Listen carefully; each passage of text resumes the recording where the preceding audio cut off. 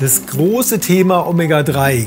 Geht das mit Leinsamen und Leinöl oder muss es unbedingt Eigenöl sein? Migräne. Kann da vegane Ernährung nicht helfen? Sekundäre Pflanzenstoffe. Sind die wirklich gut für die Gesundheit? Glutamat wird ja in Kartoffelchips, Fertiggerichten und häufig beim Imbiss um die Ecke eingesetzt. Ist das denn wirklich so problematisch? Ich habe gehört, Kochen killt die Vitamine. Muss ich jetzt alles roh essen oder was? Fünf Fragen, fünf Minuten. Unsere Antworten für dich. Los geht's.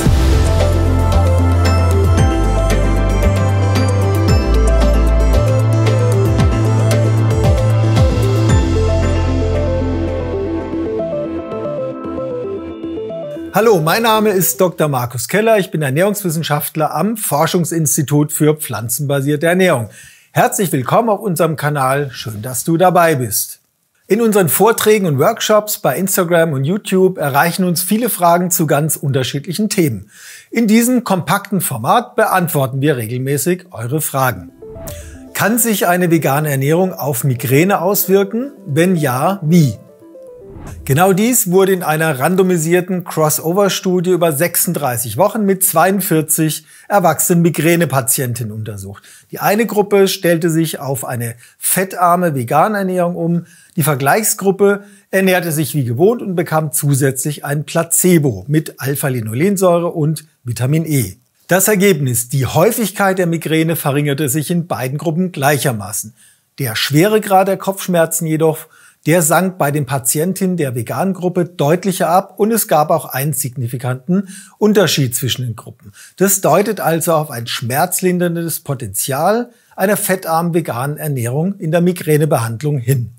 Mögliche Gründe dafür sind das Weglassen nahrungsbedingter Schmerzauslöser, wie zum Beispiel Fleisch- und Milchprodukte und außerdem die höhere Zufuhr von Antioxidantien und anderen entzündungshemmenden Inhaltsstoffen in pflanzlichen Lebensmitteln. Welche positiven Wirkungen haben sekundäre Pflanzenstoffe?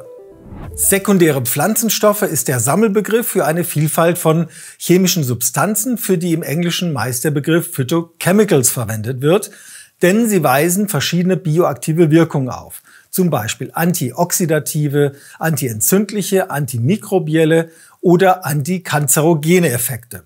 Enthalten sind sie in vielen naturbelassenen pflanzlichen Lebensmitteln wie Gemüse, Obst, Hülsenfrüchte, Nüsse und Vollkorngetreide. Studien zeigen, dass Menschen, die sich vegetarisch oder vegan ernähren, meist eine höhere Zufuhr an sekundären Pflanzenstoffen haben, also zum Beispiel Carotinoide, Phytoöstrogene und Polyphenole und auch höhere Blutwerte aufweisen als entsprechende Mischköstler und Mischköstlerinnen. Und das ist vermutlich ein Grund, warum Menschen mit einer pflanzenbasierten Ernährung meist auch ein geringeres Risiko für viele chronische Erkrankungen haben. Wie sollte das Verhältnis von gegartem Gemüse zu rohem sein, um den Mikronährstoffbedarf zu decken? Zunächst können wir sagen, dass Ernährungsweisen sowohl mit einem höheren Rohkostanteil als auch mit überwiegend gekochtem Gemüse grundsätzlich adäquat und bedarfsgerecht sein können. Die DGE empfiehlt insgesamt mindestens 400 Gramm Gemüse pro Tag zu verzehren, wovon etwa 200 bis 300 Gramm gegart und etwa 100 bis 200 Gramm in Form von Rohkost oder Salat gegessen werden sollten. Viele Vitamine und sekundäre Pflanzenstoffe sind hitzeempfindlich und deswegen ist es in jedem Fall sinnvoll, einen Teil der täglichen Gemüseportion als unerhitzte Frischkost zu verzehren.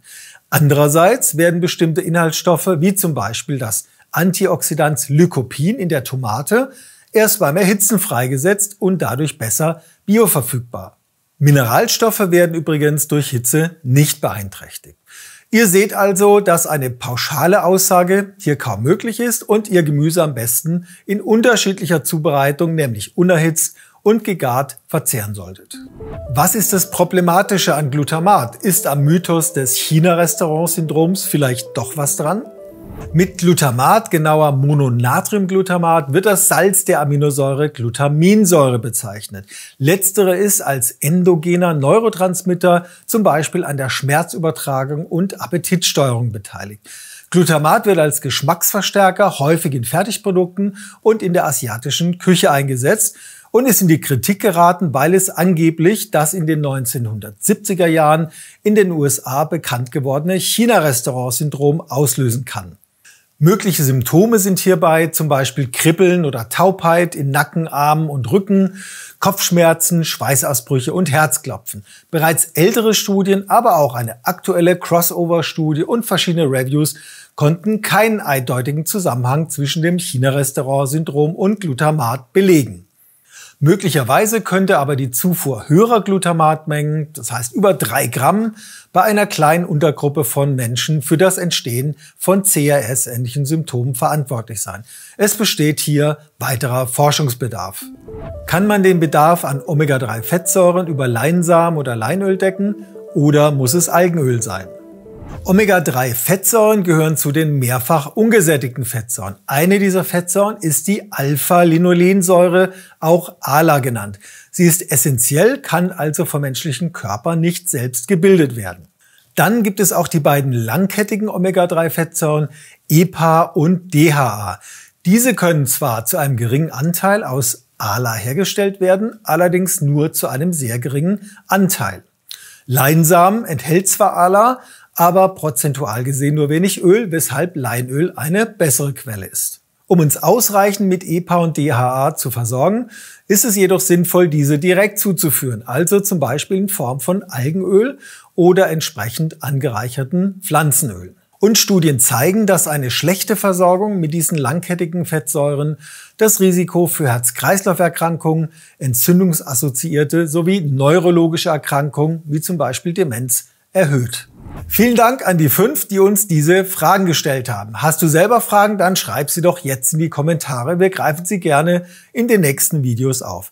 Das war's für heute. Vielen Dank fürs Zuschauen. Schön, dass du dabei warst. Ich wünsche dir eine gute Zeit.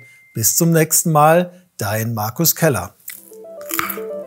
Hm, lecker Mörchen.